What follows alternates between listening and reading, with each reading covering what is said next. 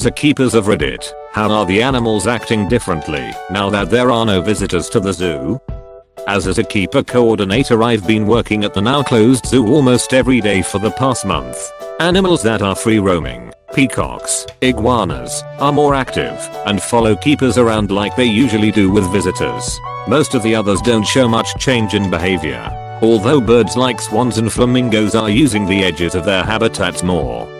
Most of our animals are happy as long as we can keep their routines, feeding times etc. For some they need a little extra. We do public encounters with our koalas, wombats, and snakes among others, so we spend an hour or so a day cuddling and handling these animals to keep them happy. A few of our koalas really fret if they don't get their cuddles. Otherwise we just try to continue to spend time with animals that are expecting human interaction and of course we can take things for walks around the place, like I'm sure you've seen at other zoos. Our wombats love a run and sniff, dingoes as well. Actually, you can check the live cam video feed and see for yourselves. Just google San Diego Zoo live cams. In our local zoo the apes started to miss the visitors, so they brought in an artist in who's now just painting in the empty monkey house so the apes had someone to watch. The zookeepers could tell they missed the visitors because they became very bored and are much more excited about the keepers than usual. Apparently they watch the visitors as much as the other way around. The keepers now have to pay them more attention to and they also do stuff like hide food for them as a game. Imagine being an aspiring artist who finally gets a job offer after years of practice, and when you get there they tell you to paint for monkeys. Due to temporary staff cuts, they no longer have the people to regularly walk the wombats. Some of the wombats are holding the keepers personally responsible. Imagine having a 20 kilogram chunk of muscle with big rodent teeth mad at you. I'm just trying to see the penguins walk around the zoo in person man. That's all I want. You can meet the penguins at the zoo where I used to work. It's just outside Chicago, if you happen to find yourself there after this quarantine.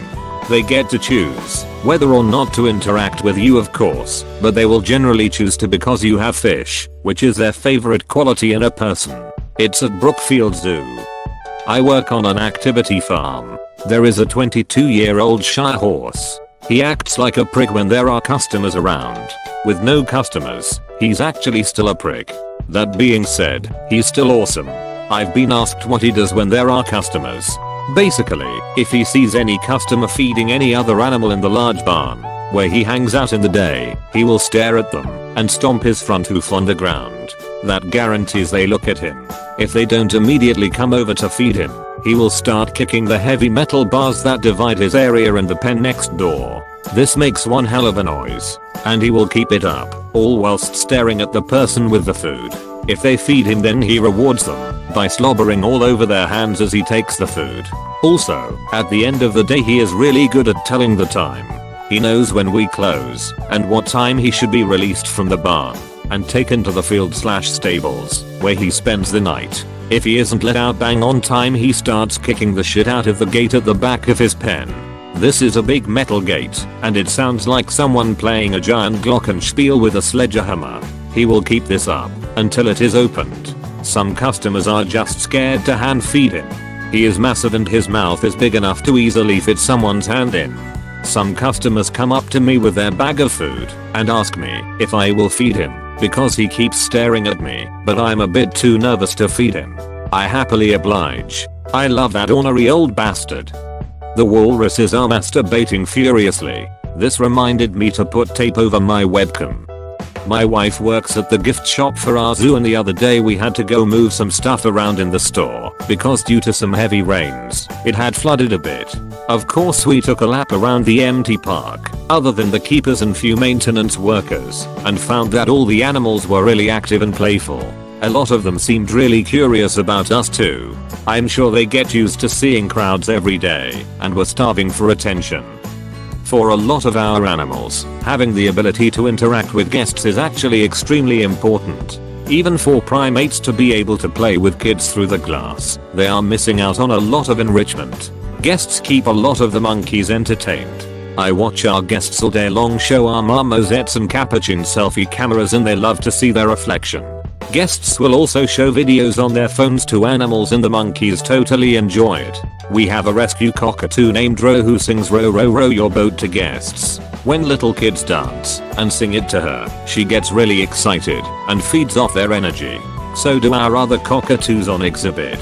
But now without guests to show off for, every now and then, when it's quiet we'll hear her start row row row and then she stop and huffs a bit and gets really quiet and sad because she has no one to sing to. Some of our animals really miss having kids to show off for. You also have to remember that animals in zoos for the most part have grown up totally accustomed to being around people 24 over 7. They are not wild animals at all really. They've grown up in a very different social dynamic.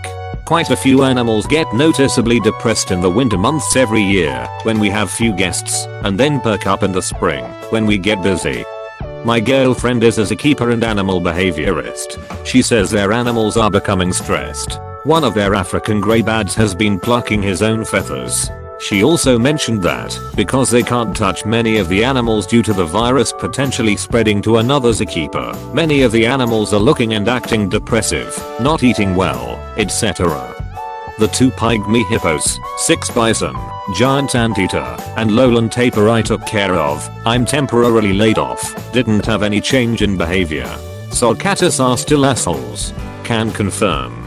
Sulcatas are assholes. Worked with two that would ram into my shins repeatedly, they left nasty bruises, and if you released them for some outside their enclosure time, they would take off for the most remote part of the property, and then when you tried to herd them back, or bribe them back they would lower their center of gravity and glare. An 80 pound tortoise, when it does not want to move is not fun. I'm an aquarium keeper, and I've certainly noticed a change. Fish are not as stressed as they used to be, as there are no longer children stomping around and banging on glass screaming Nemo, Nemo, it's Nemo at every clownfish. We brought some of our younger penguins down to let them watch the fish, and they were intrigued, but confused as to why they couldn't catch them through the glass. Our octopus has become much more friendly as well, and instead of hiding all day from people, enjoys playing with small baby toys or solving food puzzles. It's been nice. I wish there were guidelines people had to sign to behave at zoos before entering, but at the same time, they are the lifeline we so desperately need to keep functioning. Now more than ever, zoos and zoo animals need your help. I understand that it is a time of financial disparity for a lot of people, myself included. But we as humans will be fine and overcome this.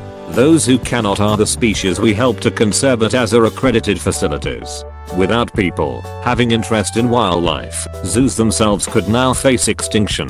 If you have a local zoo, or a zoo you just adore please, donate. Something as small as a pizza for the keepers of your favorite animals, or a donation the price of general admittance, all the way up to buying a membership, or making a significant donation, goes so far to help us stay employed and caring for all our individuals. We are doing our best during this crisis to bring you the best experience we can, so you can social distance too. If you like what you see and have the ability, you can be sure that your donation is appreciated by every single keeper working through this time. The pandas could finally get it on. 10 years they have been waiting for people to leave them alone. Imagine waiting for privacy for 10 years finally get some, only to have pictures of you getting it on plastered all over the internet.